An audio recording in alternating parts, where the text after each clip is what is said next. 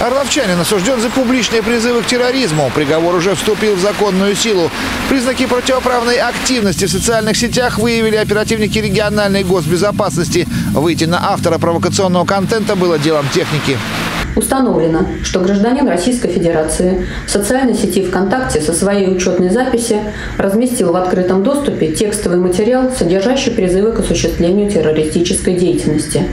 На основании результатов оперативно-розыскной деятельности в отношении него Следственным отделением ФСБ России по Орловской области возбуждено и расследовано уголовное дело вторым западным окружным военным судом. Ему назначено наказание в виде штрафа в размере 300 тысяч рублей.